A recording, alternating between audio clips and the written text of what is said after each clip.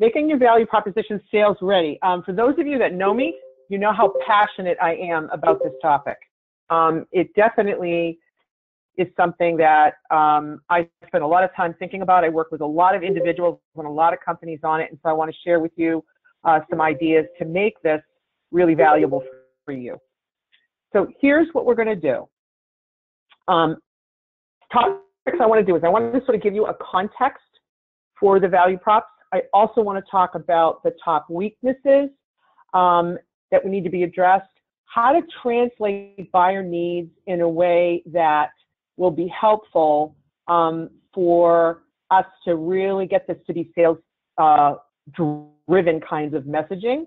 I'm actually going to walk you through a, um, I'm going to actually walk you through a very specific example. It's actually um, a customer that I worked with. Uh, he will, they will be nameless. Um, they've since been um, acquired, um, but I'll give you some real ideas. Um, then we're going to break down the pieces, right? Particularly around drafting buyer objectives, how to craft a real offer statement that can be used both in marketing and sales uh, activities, the differentiator, which is the hardest part of it all, and then how to make the whole thing bulletproof. So here we go.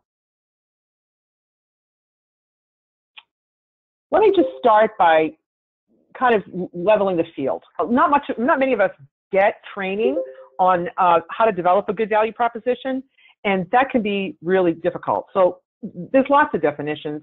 Um, this is the one that I happen to like the best. Well, of the standard definitions. I, I, I of course redid it because that's me.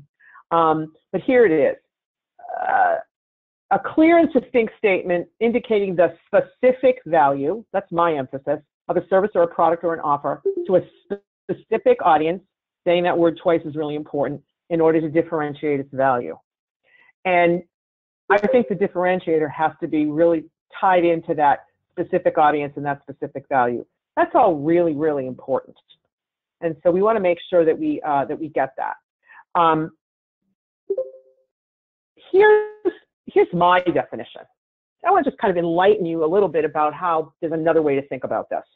My definition is a value prop is a buyer focused description of value that demonstrates your knowledge about the buyer's experience or challenge and your specific offer to address it, underscored by what differentiates your offer from any other. Here's what's different about this. First of all, we're starting with the buyer. We're not starting with our own offer, our own, our own company, our own products, our own services. But really what the value prop is supposed to do is to demonstrate your, value, your knowledge about the buyer, not the knowledge about your own stuff. And this is where a lot of value props kind of veer off the road a really good value prop shows the buyer you know a lot about them. You get what they care about. That's really important.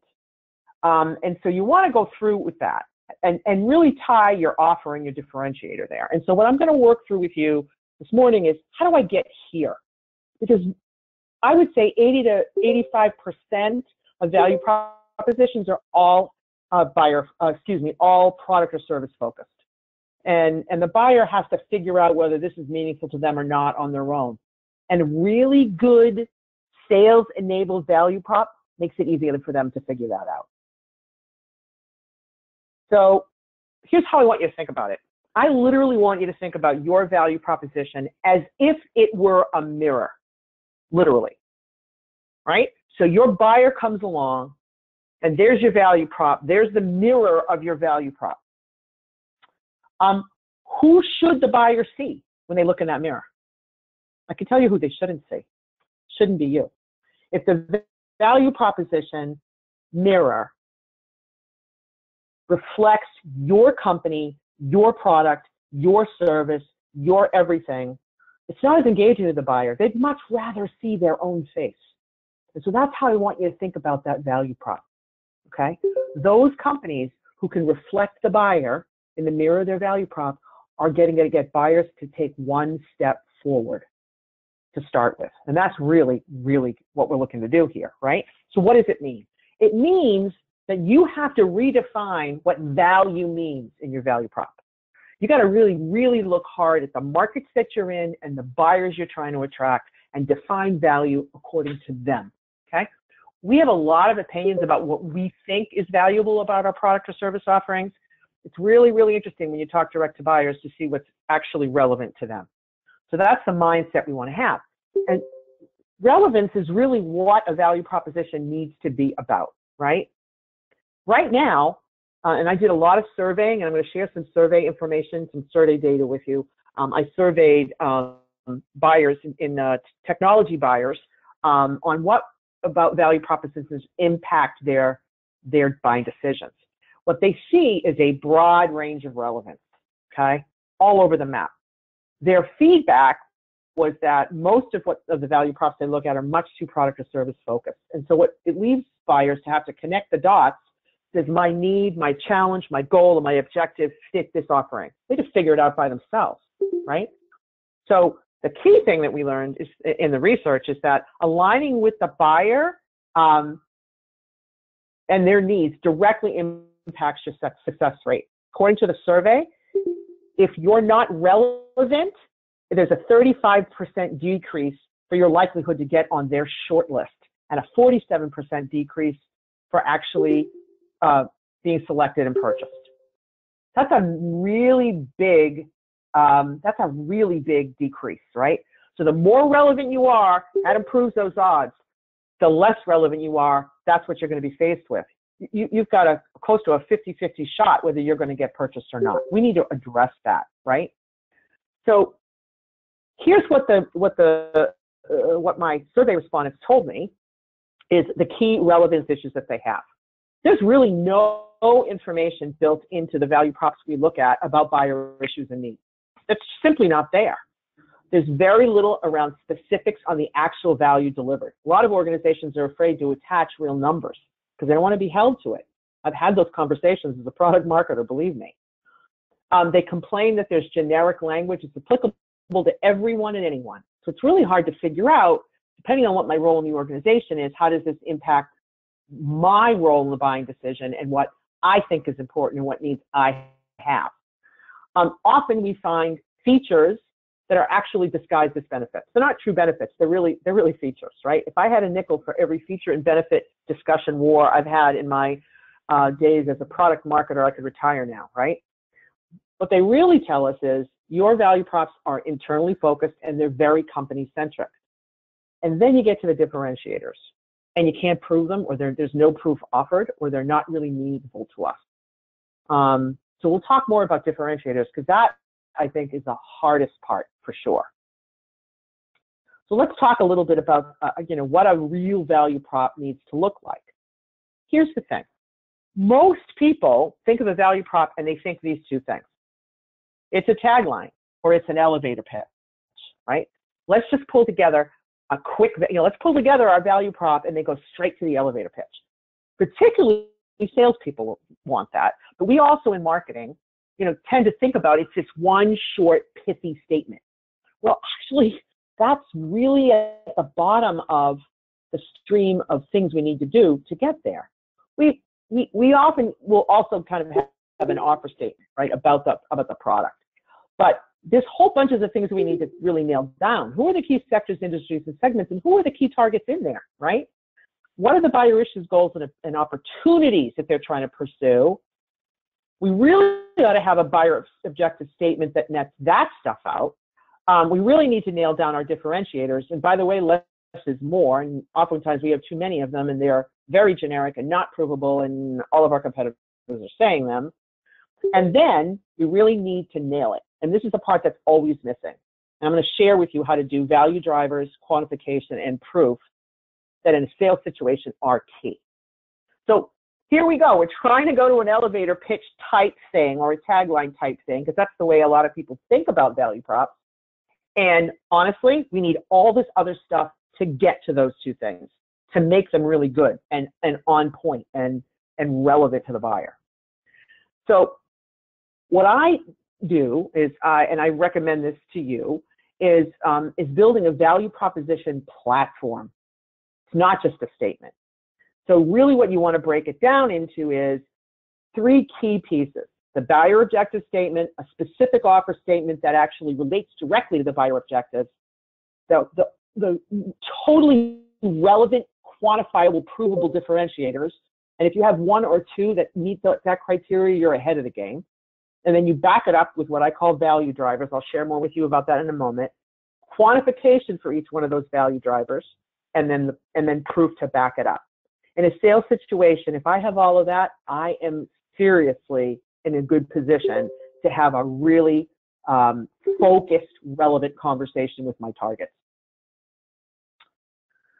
So let me start, and I'm going to go right into some real examples. Let me start with a company that I worked with, um, and I'm going to use them as my example. Okay, they were literally a 10-year-old quote-unquote startup in the software industry, and they still were a startup because they they really hadn't done or made major growth. They've been pretty flat. When I got to them, they had been flat for probably three or four years, but they still hadn't kind of broken through. Their offering was a software platform, and what it, in, in a nutshell, um, they had this really um, proprietary um, software platform that was that was a search engine that was able to pull in both traditional um, media and then user generated media through things like you know Twitter and you know all, all of the social media outlets that are out there, and then to be able to sift through that and pull out things that were said that are relevant about your brand, right? Um, and and here's the, the real challenge: they're marketing a technology to a non-technical audience. They were marketing to marketing departments in um, upper mid-market and, and uh, enterprise companies, and then also to big advertising agencies who were servicing you know big brands all over the world.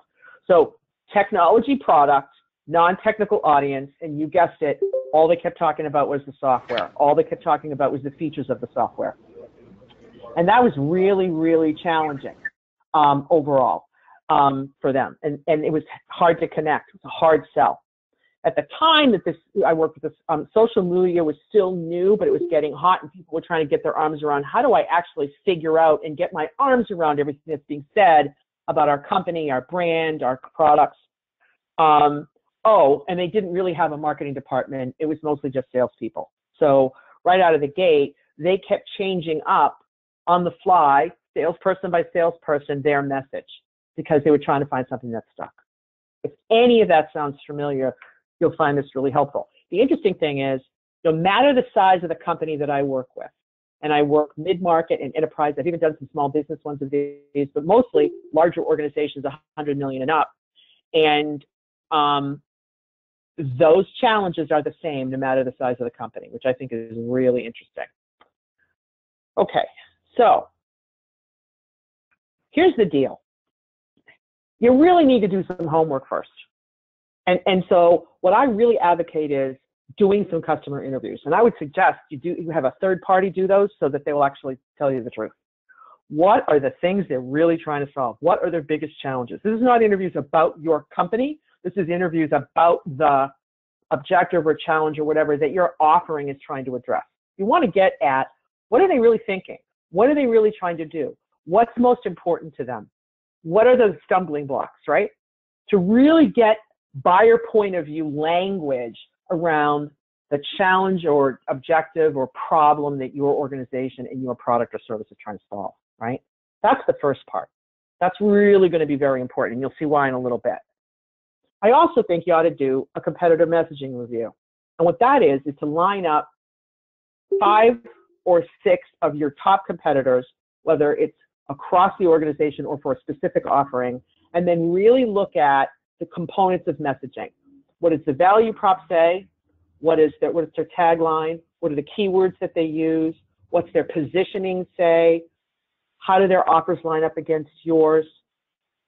Language pulled from their testimonials and lay them side by side to see what's being said, what, what's being repeated.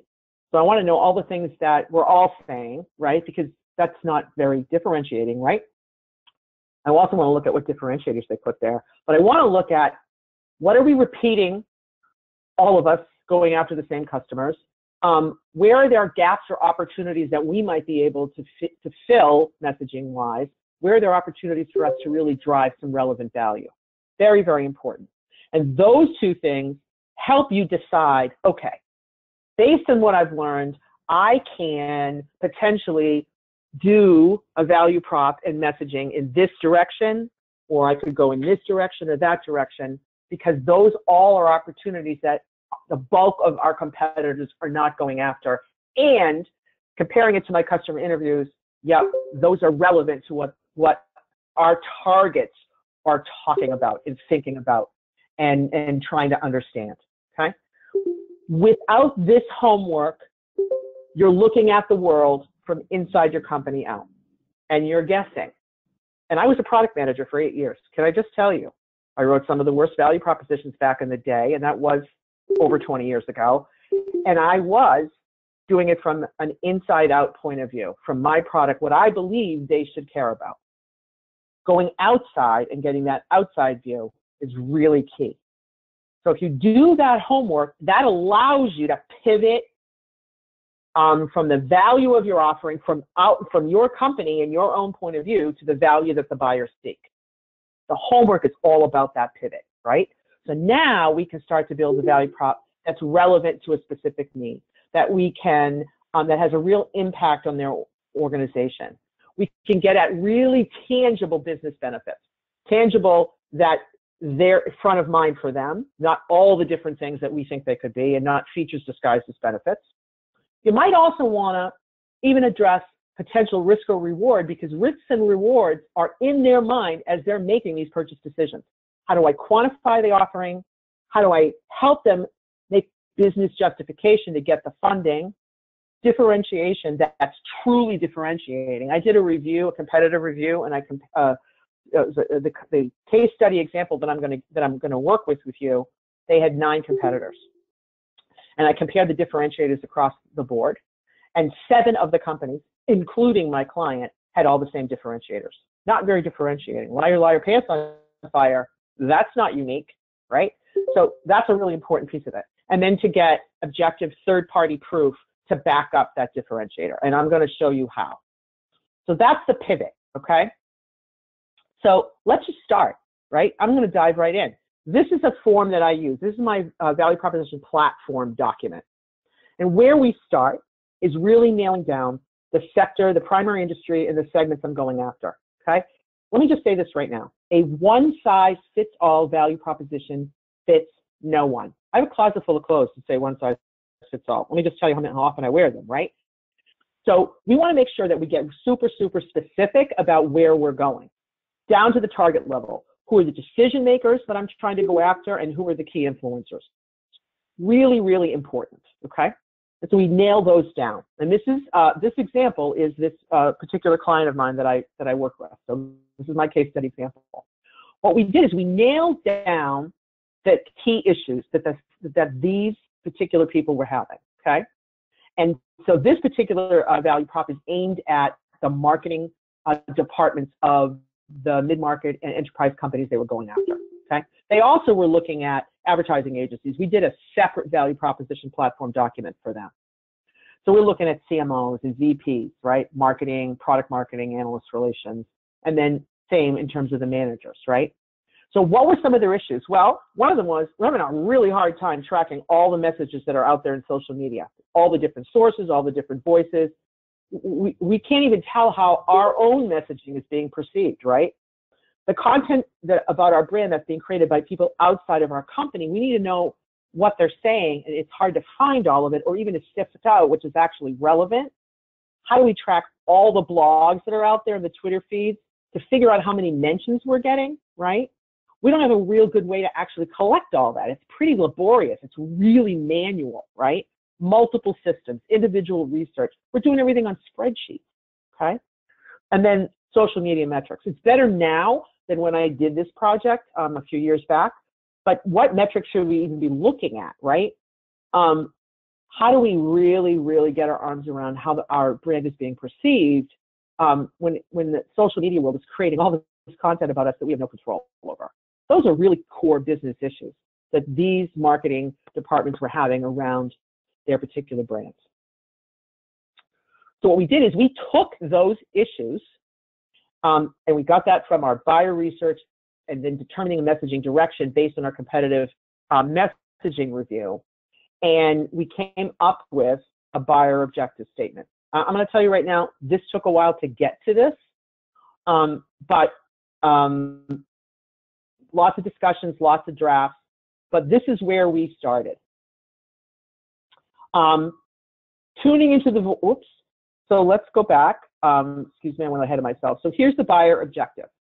Um, tuning into the voice of your market is becoming more difficult due to the millions of consumer to consumer conversations that are diluting the impact of your company's marketing program.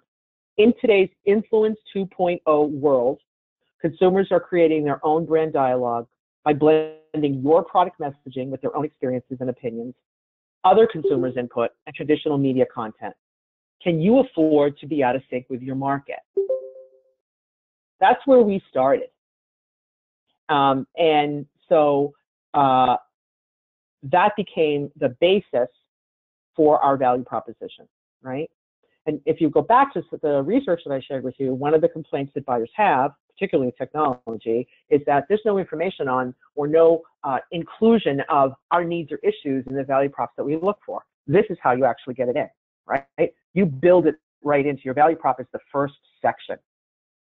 We vetted this um, internally. We vetted this with some trusted customers to make sure that the objective really matched up to the research that we'd done and to um, the buyer issues that we had extracted from our review and from whatever. So we did some vetting there and, and netted it out to this. We probably went through seven or eight versions of this to get it to where it is. And, uh, the Influence 2.0 became pretty uh, big for us, um, and no one was saying it at the time that we did that. So um, then we moved into the company offer, right? And, and everyone wants to jump here first, um, but what we did is we waited, we pushed back. And we also got rid of everything we were saying before. So XYZ Corp, a market influence analytics company, sifts and interprets the millions of voices at the intersection of consumer generated and traditional media.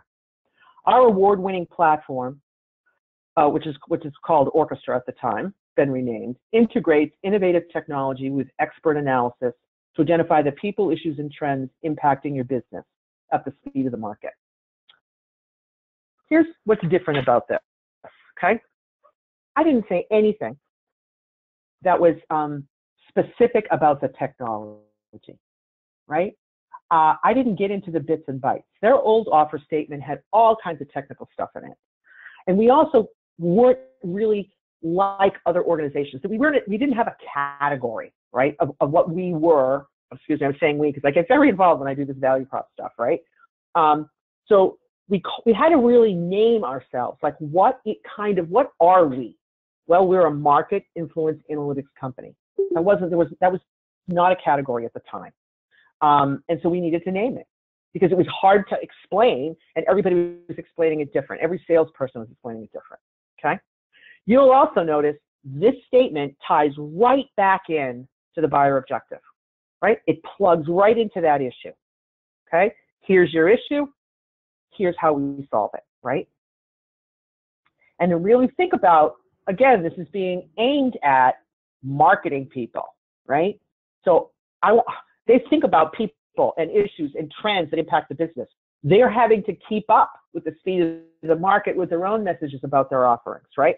So we're talking about this in their language. Um, um, and um, that's really, uh, really important, okay? We went through multiple iterations of this. This actually spiked some really interesting conversations at the company about, okay, what are we really? Very interesting, and a lot of technology companies kind of get their arms into the same issue, which is we get so wrapped around our um, technology that we don't always necessarily, if we're not in an already established category, get re- uh, are really clear about who are we really? What kind of a company are we really, right?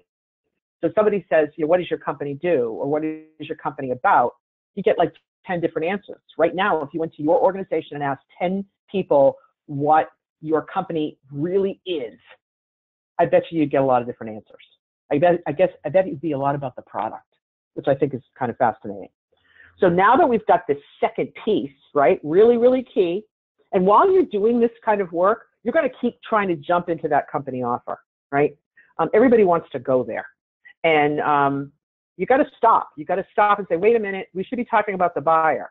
You'll notice in the buyer objective statement, we don't mention the company at all, and nor should we, right?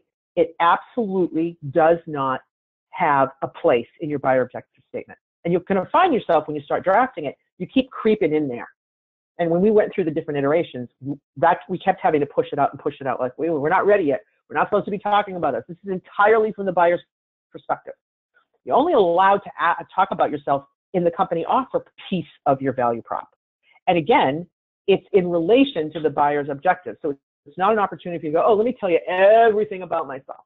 Let me tell you everything we know about our product. Because honestly, you don't want to do that. Less is more. What's relevant to the buyer objectives and only. And remember, you don't have to stuff everything in here. And one of the reasons why a lot of value props are very, very generic is that we try to stuff everything in because we don't want to miss anything. A value prop is the beginning of a conversation. It's the attraction piece of it. It is how do I get someone to look at me twice, right? Or to, or to, or to take a step forward and say, tell me more. You're going to have plenty of opportunity over the course of the marketing and sales cycle and the buyer journey to have those conversations.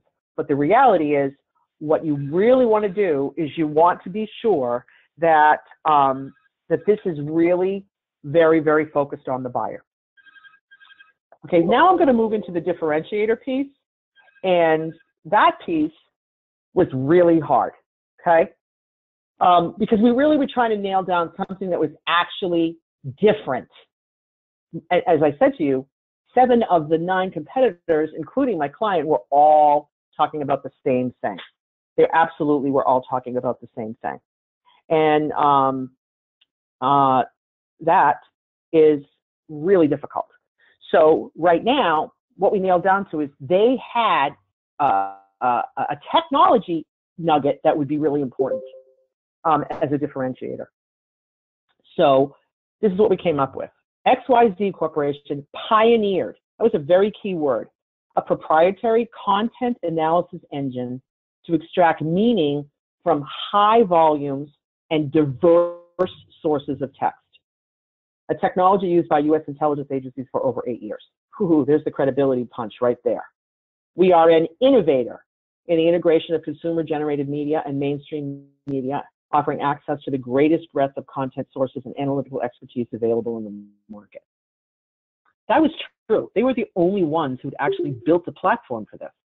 The problem was all they kept doing was talking about the technology from a technology standpoint, and everybody was missing the real, the real impact of what that could have. So in the differentiator, we needed to say, hey, wait a minute, we're the only ones that do this. And, and, and at the time they were, right? We pioneered this it's proprietary, right?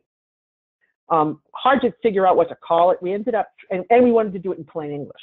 So getting to content analysis engine was not easy, right? We, we, we went through a lot of different ways to describe that because our audience are marketers, right? And so we didn't want to get into the bits and bytes because quite frankly, that's a turnoff, right?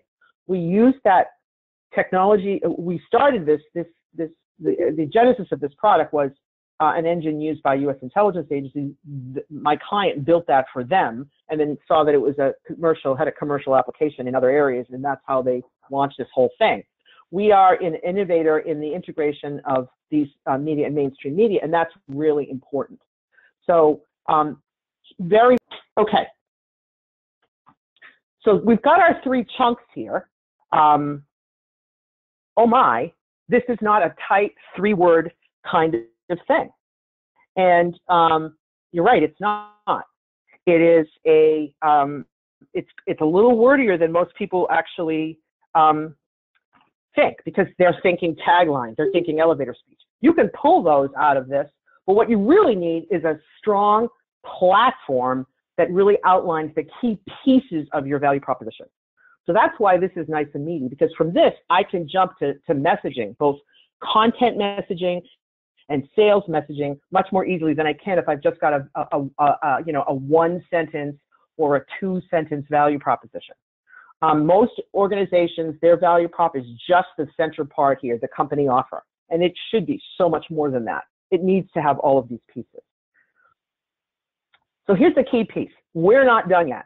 We need to be able to back it up because that's where the rubber hits the road and that's where you make it sales ready. So we need to collect supporting materials and package them with the value prop platform so that, that we can get the marketing content um, and build it out much more easily and consistently, and we can help build a series of sales conversations, right? Too often we've got a three sentence statement and then we're making everything up from scratch. And that's where your messaging starts to go all over the map. And sales start saying whatever they need to say to get, get interest, or they keep like throwing a different version or making up new versions because they're just trying to get some engagement from the buyers they're going after. Um, so the first part is to back it up is you need to nail down what I call buyer value drivers. And a value driver is kind of the top of mind key points of value that are in their head as they're starting a buyer journey and as they're starting to figure out what it is they need, who they're going to talk to, who's on the short list, and who they're going to purchase from. These are value points that are important to their decision. And so they typically fall into several of these buckets, right? Ease of use is a good one, increased revenue, uh, reduce customer churn, increase market share. I mean, these are kind of the basics, right, of the kind of value drivers that are, are top of mind. The key to it is you have to actually spell it out, right? It could be other things besides this, but these tend to be kind of the, the, the kind of standard. I tend to go here first and go, okay, does any of this in, you know, does any of this register for the buyers that I'm specifically going after? Right? Or are there more other things that are happening? That's really important, okay? So the second half of my value prop platform is this piece. Nailing down the value drivers, we're going to quantify each one of them, we're going to offer proof for each one of them. So the value drivers that we netted out, we had, God, we had probably, I think we had probably like 15 of them when we started. For this particular uh, offering, this value prop and these buyers in the target uh, segment market that we were in, the things that the, the, these marketers, the CMO, the VPs of marketing and and and um, and uh, analyst relations, immediacy. The data's got to be up to date. I want immediate information, right? I want to be able to see it as the content is generated out there in social media. I want to be able to pull in kind of the the the, the traditional media stuff, but all the stuff that's being generated out there by users, I want to pull it in immediately. I want to be able to measure it I want to be able to look at not only just the number of mentions I get, but by a, a host of other metrics as well. So the measurement of all of this is really important. And oh, by the way, there's so much crap out there that's in, in social media. I don't want this. I want a, a tool that's going to pull in only the stuff that's relevant to my brand. That's a tall order, those value drivers, right? Because you don't want them to have to sift through. And you know, you get a report from the from the software and it has you know a bunch of mentions that have nothing to do with your organization or your product or your offering. So that relevance piece was really, really high. So we netted out, we probably started with 10, we netted it out to these three. The next thing we did, is we said, okay, how do I, how do I quantify it so that I, that value driver is really real, right? And so there's lots of ways to do it. Data from customer results, like, you know, revenue numbers or percentages, Statistics from a recognized industry expert is another good way to quantify a particular value driver. Are there any survey or research results from an industry relevant source? Or did you do a formal survey and, um, and actually publish it and then you could use your own survey results, right? Um, did you get any industry or expertise awards about your offering? Those are really good credibility builders because they're coming from a third party. Are there documented improvements or reductions like increases in profits or reductions in costs that you can actually state, whether that's with case studies uh, for clients who are willing to step up, or that you're that you can stick a stake in the ground and say customers like ours have seen increases of you know this range or cost reductions in that range. You've got to be able to actually put some numbers to it. Otherwise, it's just marketing fluff and your buyers won't believe it. And that's the truth, right? So you want to quantify it. So here's what we did, okay? We were like this 10 year old startup. Um, people didn't really know a lot about because we just, our, our audience just wasn't getting what we were saying and we weren't backing it up well. So on the immediacy thing, we actually, they actually won an award from the Massachusetts Innovation Technology Change, uh, Exchange for best use of technology and applied technology for delivering immediate market intelligence. How great is that, right? They had a, an award that gave them kudos for that.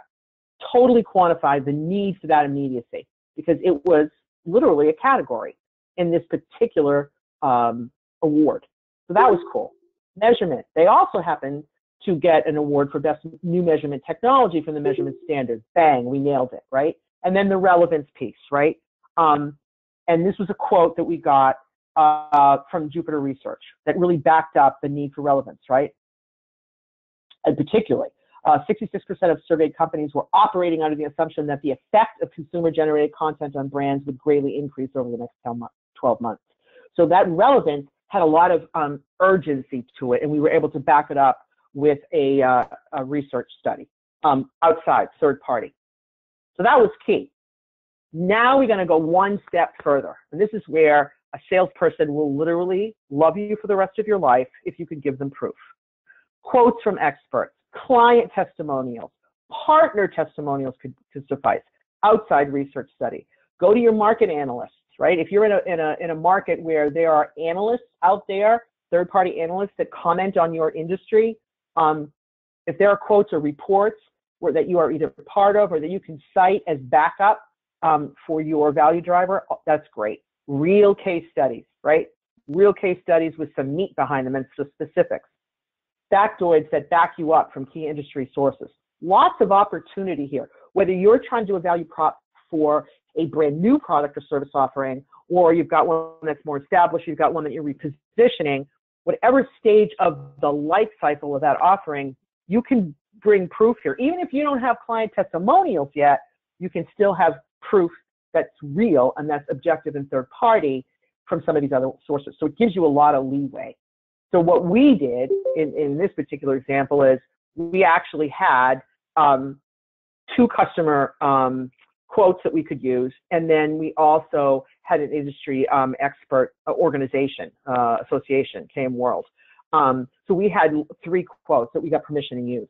And so right out of the gate, from a sales perspective, I now have the value prop. I can speak directly to the buyer issues and I can also back it up with some quantification and some proof. And, and in terms of messaging, I have three core messaging things. The immediacy of the data, measurement of the data, relevance of the data, because I know that buying audience, that's what they really care about. That's what they're thinking about as they're making a decision.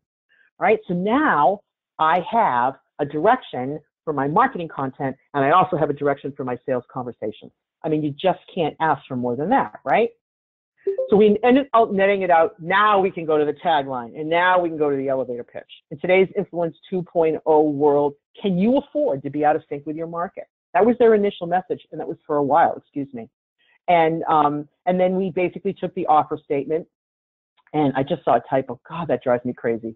Spell check is useless. Anyway, um, then we took that offer statement and we really kind of just netted it out into an elevator pitch. Um, some people would say it could be a little bit shorter. Here's what I'm going to say about an elevator pitch. I'm not a big fan of them, to be quite honest. I want to have a conversation. I don't want to have an elevator pitch. But an elevator pitch that has enough meat and enough specificity that actually I might be interested in having a conversation with you, I think is more important. And so that's what we did here. And so then, now with all of these pieces, we have the value proposition platform in a box. And we rolled it out to the entire company. We literally had a, a, company meeting and we sat down, sales is in the room, marketing's in the room, operations in the room, product development's in the room, the technology department's in the room, and we rolled it out to all of them. And we let them ask questions and we showed how we were going to use it. We had a map that showed how we're going to use it. I can't share that stuff with you. Um, some of that was fairly proprietary. I mean, even this, um, is a little bit, but I kind of took uh, the names off of it. And here's the, the good news to the story. They've been kind of, you know, 10 years plodding along, and within um, two, two and a half years uh, after we did this and launched it, and we actually launched it, you know, in our, we redid the website, we relaunched all of our materials, we really started getting the salespeople doing this conversation. They got noticed by a much larger company um, uh, in um, who was a little bit outside of their particular area who wanted to add this in. It was a kind of a, a media company and they got bought. which was an awesome thing for the founding team, let me tell you. And one of the pieces of feedback they got was one of the things that drew us to you is that value proposition, because that spoke directly to a hole in our offerings. Bang, right? Everybody went home. Everybody went home with a lot of money in the bank. Beautiful thing. Um, so anyway, lots of different outcomes, right? It can drive more business, which it did. It can get them closer to their customers, which it did. It also provided a buyer for them, which they didn't even know they were looking for. So that was a, a really good piece of it. So here's the deal. To me, for me to net it out, you want to get to the point, okay? And here's what I would like you to think about. Instead of uh, organizing your messaging, your content, right, by product or by service offering, think about organizing them by the challenges that you're trying to address, your buyer challenges that you're trying to address. Here's our content for this issue. Here's our, content for that issue. Here's our content for this goal, all buyer driven. Okay. And then break it up by industry or key markets segment, right? I think that that's an easier way to go about delivering messaging from a marketing and from a sales standpoint to live prospects rather than having to kind of figure out, well, I got to pull this and this and this. Do it by buyer, need, or challenge. Best way. What I'm suggesting is attach your offerings to the challenges, not the reverse. Let me say that again. Lead with your challenges and attach your offerings there, as opposed to here's our product, here's our service and why, here's all the stuff that comes with it, here's all the challenges and issues. Flip it around, pivot. That's the key thing. Then what you can do is really put together a messaging playbook, and this is something I, I build for customers. Here's all the value props. And did I say earlier, one size fits all fits no one? Absolutely true. So you may do versions of this. If you've got the core value prop platform built, then it's very easy to version it by industry, right?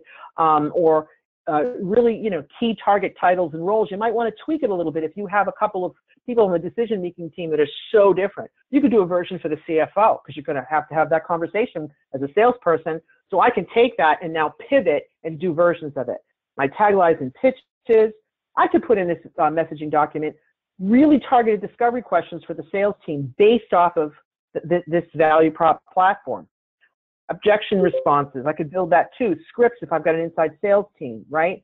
And then what other testimonials, case studies, research, um, what kind of content assets do I have by buyer journey stage? You know, hey, salespeople, here's the relevant content for the awareness stage. Um, just want you to be clear as in your prospecting, you're going to need to pull from that bucket. Here's when they're doing the shortlist. Here's the content that's relevant there. So that everything that you need is in this playbook whether it's a sales conversation, a marketing conversation, content development, makes it very easy and consistent so that you're not starting with a blank page every time you have to do it. And so this is a, a visual I created um, for a particular client that I've been using with a lot of them now is, okay, how do I take that platform and infuse it in my content, right? Well, the kinds of sales collateral things that I might want to put together. What do I need for public relations? What do I need for analyst relations if I'm, if I'm dealing with analysts, right? websites, videos, blogs, town halls, however you're doing it, that's really, really key, right? Once you've got it, then you start have, have to start using it. So that's what I have for you today. I also, uh, sort of a shameless plug, because I'm so crazy about value props, and I've been doing this for 15 years, I have a book coming out in January, Value Propositions That Sell, turning your message into a magnet that attracts buyers. It's going to have a lot of really full-blown information, templates, tools, more customer stories. I think you'll find it really interesting, and, and I will definitely share more of that with you then for sure. Um, I've done this kind of work um, for a number of organizations, in addition to all of the other marketing and sales related um, consulting I've been doing out there for 20 years. Um, companies large and small, SMB, mid market, and enterprise. Um, so uh, lots of industries, not just technology as well. Um, so there's lots of ways to go about this value proposition in your messaging piece. A uh, couple of things. Um, if you have any questions, drop them in your chat box. I have a few more minutes. I can I I can um, I can uh, share with you. Um, I'm just taking a look at what I have right now. Um, I am going to um, give you access to the recorded version of this uh, uh, webinar. I will also give you access to a PDF of these slides as well. Um, I'm also, and I will get that stuff out to you uh, probably tomorrow afternoon not Friday morning at the latest. Um, I'm also going to um, give you an offering that you might want to consider. I have an online program, uh, value proposition development program, do it yourself on demand, called the Simple Value Proposition Plan. And I'm going to give you a special offer uh, to, uh, in my uh, next email to you um, on that um, that course because I think it could be really, really helpful for those of you who really want to do this yourself.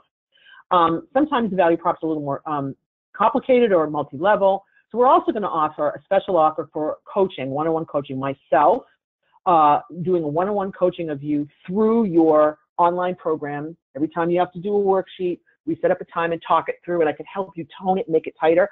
I also have another coach who's working with me. Her name is Liz Hyman. She's been in the marketing and sales industry for um, a zillion years, like I do, really sharp and savvy.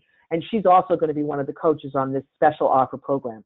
And so stay tuned for that. That's going to come with the PDF of the slides and with a, uh, a downloadable version uh, of this recording. Um, and uh, that way I can help you past today to actually get to work um, on either retooling an existing value prop, creating a new one, um, looking at what direction do I need to go in? Should I have, how many value props should I have? Those kinds of things. And that, my, my friends, is what I have for you today. I really want to thank you so much um, and uh, for attending today. Um, always a great sign when everybody hangs in from the beginning, so that's really great. I thank you for that. I wish you um, luck going forward. Feel free to reach out to me via email or on Twitter at, at Knowledgence. Um, I'm always happy to talk about this stuff. I absolutely love it. Hope everyone has a terrific day. Thank you and goodbye.